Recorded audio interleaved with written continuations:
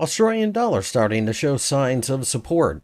Before we start, a quick word from our sponsor. This video is brought to you by Exness, the world's leading retail brokerage firm offering ultra-fast execution and no overnight fees. Look for a link in the description below. The Australian dollar initially fell a bit during the trading session on Wednesday, but has since bounced a bit from the 0.6575 region. This is an area that has been a massive support level in the past, and the fact that we have plunged the way we have suggests that we are due for a bounce. That's exactly what I think we are in the process of seeing, but the real question is going to be whether or not we can stay above the 200 day EMA.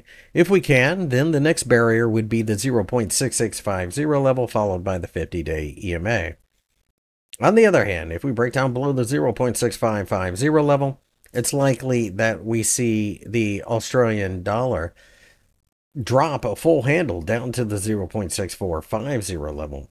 Keep in mind that the Australian dollar is highly sensitive to commodities, but gold is getting a little bit of a push higher, and that might help the Aussie. We'll have to wait and see. There is a lot of ugliness in the world at the moment, and therefore it does make a certain amount of sense that we have to be very cautious with risk assets such as the Australian dollar, but it's obvious to me that we are a bit oversold, at least in the short term.